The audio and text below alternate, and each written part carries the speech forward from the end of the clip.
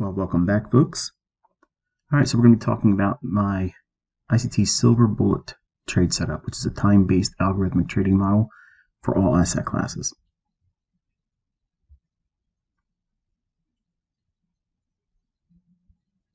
All right, before I get into it, uh, let's discuss ticks, points, and pips and the relationship to Forex to futures. For an ICT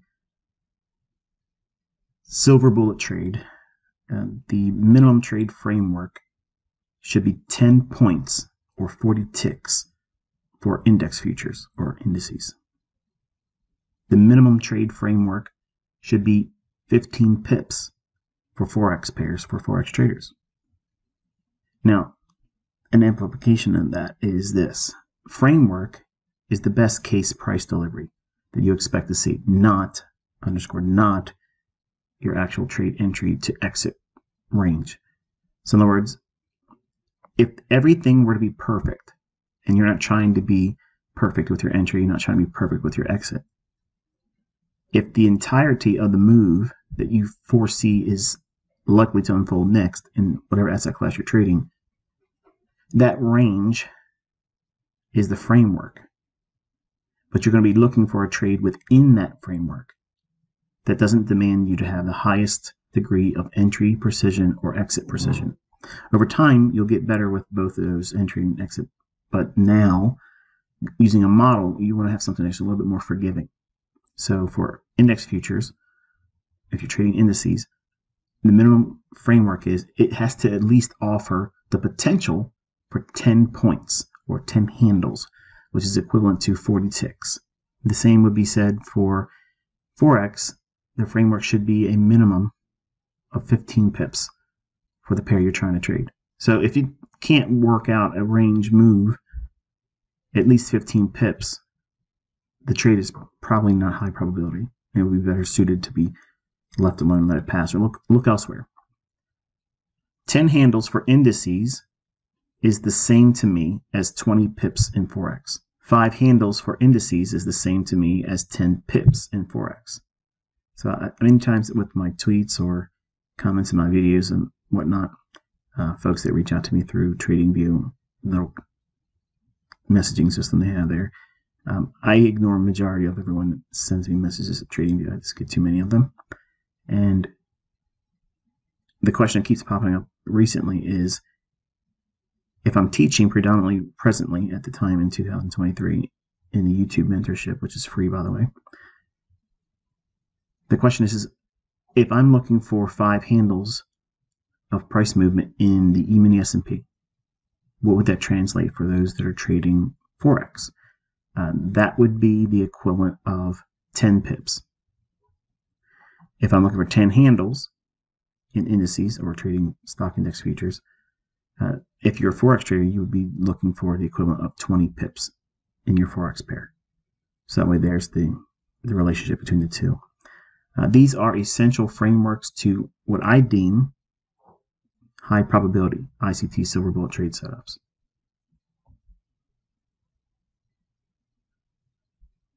All right, so let's talk about this is really the gem of this presentation, really. Uh, types of ICT silver bullet setups. Now, the framework for many ICT silver bullet setups are as follows, but they're not limited to. Previous day high or low draw on liquidity, meaning yesterday's high, if we're bullish, there's going to be buy stops or buy side liquidity resting above that. We would be looking for a run to previous day's high. That expansion is the draw on liquidity for buy side. Uh, vice versa, if we are bearish, we're expecting lower prices throughout the week, and we see the previous day's low as having sell side liquidity or sell stops below it. So we would look for potential setups that would expand down into that liquidity. Previous session highs and lows as draws on liquidity, meaning that let's say you're sitting down in front of the charts and it's the AM session in New York. You would look at the high and or low of the London session that just passed and look to a run on liquidity or retest of those old lows or highs. Previous weekly high or low as a draw on liquidity. If we're bullish, we would look for a run above the previous week's high. Or if we're bearish, we would look for a run below the previous week's low. Another would be returning to a current or old new week opening gap. So that would be treated as a draw on liquidity. Or an expansion away from the current or old new week opening gap and a classic ICT optimal trade entry, which has been for the longest time while doing this YouTube channel. That's always been the classic flagship pattern, but now we've seen many more models and approaches, so it can't be referred to as the flagship pattern anymore. I think the fair value gap has uh, taken the throne there. Confluence of the 2022 ICT mentorship YouTube model, which I taught for free on this YouTube channel, uh, meaning that your draw on liquidity could be a inefficiency above the marketplace when we're bullish or a inefficiency below the price when we're bearish, which means that if we're bearish, we could be aiming for a discount buy side imbalance, sell side inefficiency, or some measure of fair value gap that would be below current price action. That would be your draw when bearish. Or if you're bullish, you would be looking for a inefficiency above current price action, which would be many times in the form of a SIBI or sell side imbalance buy side inefficiency or a variant of fair value gap above current price action. So you can treat that or as I mentioned, all the previous ones above number seven here, all of them being equally available in terms of probability if it is in the market at the time. Not all of these are going to be a factor. You know, there'll be times where the previous week's high has already been rated that morning and looking at it again may not be the ideal scenario. So it might require you to look at a higher time frame liquidity pool or inefficiency above price if you know if you're if you're bullish. So I could list a myriad of different scenarios, but I think this list is good enough to give the students of my YouTube channel a great deal of latitude. So that way you can look at the potential for any one of these situations. Not all of them will exist. On any given day, not all of these will be in the charts, but most days, one of these criteria will be in play. And don't take my word for it. Go back through your price action. You'll see what I'm saying here is in fact truth. Obviously, the main emphasis is determining the next most likely draw in the price action. So where is the price likely to go to next? That's the number one goal for all of my students is to focus on that skill set first because all the entries and the exits and such, that is the least important thing because if you don't know where price is trying to go to from the time you're sitting and looking at your charts, whatever analysis concept you use is probably going to fail you. All right, let's talk about our first ICT silver bullet setup and the time at which it forms. Now, again, this is a time-based model. That means these things are linked to a specific 60-minute interval or window in time. Every single trading day, this pattern will form. It may not be in the Forex pair that you're trading. It may not be in the futures contract that you're trading. It may not be in the asset that you're specifically looking at, but it does form every single day. First setup time is 3 a.m. to 4 a.m. Now, we're always referring to New York local time. So whenever I'm referring to a specific time, whether it be a window of time or a very specific time of the day, you have to have your charts calibrated to New York local time. Wherever that is, whenever that is, in your area. If we're observing daylight savings time, then you observe daylight savings time. So that way it removes all the uncertainty, the confusion, whatever it is in New York, that local time, that's what you're using when you're charting. This is the London Open Silver Bullet. So what we're looking for is a classic ICT fair value gap, the form between 3 a.m. and 4 a.m. New York local time. The factor at which you are going to lean heavily on is the skill set of knowing where price is going to go to. Okay, and it's not necessarily the bias. You just predominantly have to consider where the next draw on liquidity is. Is it going to go above the marketplace for buy stops or trade into inefficiency above current price action if you're bullish? In this case, the market was bearish. It was looking to go lower, and there was an obvious sell side liquidity pool resting below that old swing low. And between 3 o'clock and 4, the market created a fair value gap. We had a shift in market structure below this low here. So this is your classic what? Optimal trade entry. Fair value gap here. The market shows the willingness to support this idea with the bodies staying inside that gap. See that?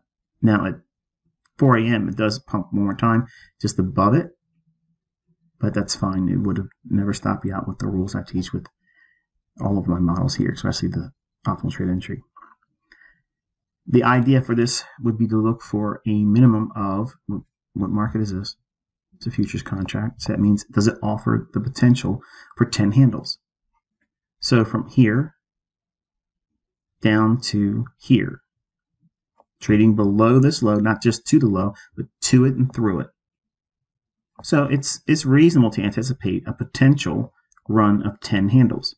We don't require that, but going short inside that fair value gap, the formation of the ICT silver bullet, the entry is taken inside of that 60 minute window between 3 a.m. and 4 a.m. It does not mean that the trade is entered and is exited in the same 60 minute window. In other words, your trade many times will be held over the four o'clock hour and into five o'clock in the morning, and maybe even rolling over into the New York session opening at seven, eight o'clock New York local time. But in this instance, we would be aiming for this low and the sell side liquidity resting below it. So does it offer from this entry here down to here at least five handles for you to book in profit? It does so. The framework was, could it get to 10? It could do 10. We don't require that. Shorting into fair value gap, covering at the old low, allows for at least five handles, and that's what the ICT Silver Bullet is. This is my actual model for my son Cameron. All right, the second one in our continuing list of ICT Silver Bullet setups is the AM session. Now this one is focusing on the 10 a.m. to 11 a.m. always New York local time. And let's take a closer look at this one now. Okay, so we are looking at the E-mini S&P once more. And the idea is between 10 a.m. New York local time and 11 a.m. We wait for when the market's bearish relative equal lows. There's sell side resting below that. We have a fair value gap, bearish. Fair value gap, it trades up into it between 10 o'clock and 11 o'clock. We can sell short there. Does it offer 10 handles? Well, from 41.46 or thereabouts to 41.36, that range doesn't even get us down into this low, let alone below that one. So it obviously meets the criteria of a minimum of 10 handles. In framework, it does not mean you're trying to get 10 handles. It just means that it offers 10 handles. So going short here, collecting five handles, that could have been done inside of the scope of that 60 minute window. Not that you're trying to do that, as I mentioned briefly moments ago. The trade is many times held in duration longer than the window that the framework and entry is derived from. So it's not a in and out within the same hour. It means that you're looking for the setup to form to get you into the trade within the scope of 10 o'clock to 11 o'clock New York local time. All right, and finally we have our last ICT silver bullet here, which is framed on 2 p.m. to 3 p.m. New York local time. And this is the PM session ICT silver bullet setup. In this one here, we can see that we traded down into a higher time frame, 15 minute discount fair value gap, and you're encouraged to go into your charts to see that is in fact what we have here. The market trades down into it, shifts higher. A swing has been broken to the upside, so we have a shift in market structure and a fair value gap. So any retracements back down into that, look at the bodies staying inside that. The wicks do the damage, but the bodies telling you the narrative. The story is told by the bodies. So it's telling you it's respecting this buy side imbalance, sell side inefficiency, or fair value gap. Going into two o'clock, we rallied and we created a small little fair value gap there. The market drops down into that before taking out the relative equal highs buy side liquidity and or returning back to a premium sell side imbalance, buy side inefficiency, or fair value gap that would be above the market here and here. So if it's going to rally here, the framework could be on the optimal trade entry here and taking the first fair value gap that forms inside of and reprices to between 2 o'clock and 3 o'clock. That's happening right there. So from here all the way up to here, does that offer 10 handles? Yes, it's actually offering 12 or more. So this entry here is a high probability condition that lends well to a run into inefficiency in the premium and to take buy side out as well. So that is a very handsome run there and trading between 2 o'clock and 3 o'clock. Now some closing thoughts. If you're new to my channel and you're seeing this, you don't have enough to trade this pattern. So you have to backtest it while you're learning how to read price action and determine where the next draw on liquidity is going to be for the next price swing for whatever asset class you're trading. So don't be discouraged if it seems like it's just cherry picked and there it is because I actually traded many of these types of setups either with calling it out on Twitter or mentioning it in passing while actually doing executions and recording it. So these patterns, these things form, and I called a few of them real time on Twitter last week, and many of you, much to my uh, disapproval, because I don't like when you take the setups as a trade setup signal. I don't want you to view it like that, but many of the followers on my Twitter feed actually showed that they took the trade I called out with using a silver bullet. So the pattern works. It's highly, highly consistent. It's extremely high probability when you have all these factors in mind and they are present in price action. It gives you a rule based idea to look for a time based model. So, time and price is being utilized here, which is where the focus of my analysis concepts and teaching as a mentor, teaching my students how to find something that repeats. You can't get anything better than having a specific 60 minute window of opportunity that forms every single trading day. Every single trading day, one of these setups are going to form. Now, if you don't have a plethora of markets to follow, ideally one or two at best while you're first learning how to do it. Even if you grow to a point of interest where you have a lot of markets that you're trading, a lot of pairs or a lot of futures markets and such, uh, you'll find that over time, the longer your career will be, your your list will will reduce down to one or two at worst, maybe three if you want to be a deviant. But my advice is for you to be a specialist. Try to focus on one market because if you can do that, one of these specific ICT silver bullet setups will form every single day. Meaning that if you just follow one market, just one market, you can get your setups there. You can make your bread and butter. You can make your ends meet. You'll have losing trades. Okay, it's going to happen. But by far and large, you can do things with one market. And if you don't get the setup in London, you wait for it in the AM session. If you don't get it there, you wait for it in the PM session. But every single market, every single trading day will offer one of these. So you have to be disciplined. You have to focus and look for these ideas to form in price action. And should you do that, you'll need to look at nothing further than this. You don't need to go into any other models. You don't need to go into any other teachings. You don't have to come back to my YouTube channel. You'll never have to do any of that stuff anymore because you'll be independently minded and your analysis will be uniquely yours. You won't have to look at external sources like me or someone else to provide that to you. You'll trust yourself, which is a very empowering state of mind. And that's always been my target and goal with all of my students. So hopefully you found this one insightful and I'll talk to you next time. Be safe.